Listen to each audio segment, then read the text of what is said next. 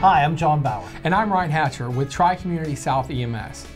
Did you know after your ambulance emergency, you could receive a bill in the mail and you may be surprised to find that your insurance provider doesn't cover the full cost?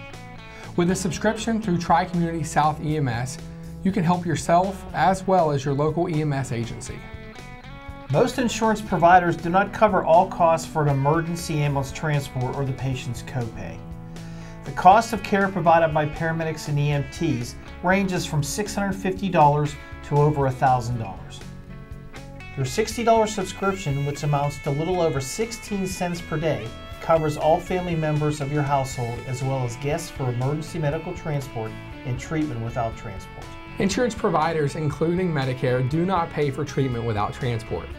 Your subscription will assure you that you do not have to worry about deductibles or copays, regardless of your insurance coverage. With a yearly subscription, the costs that come from emergency treatment and transport are never billed to the patient when insurance information is provided. We have agreements in place with surrounding EMS agencies to provide our subscribers with subscription benefits in those areas.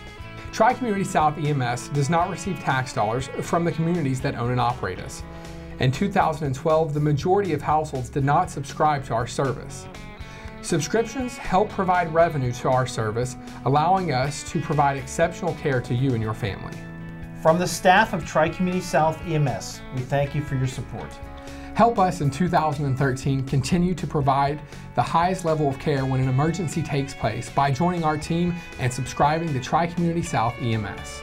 For more information regarding subscriptions or to subscribe online, visit our website, tcsems.org.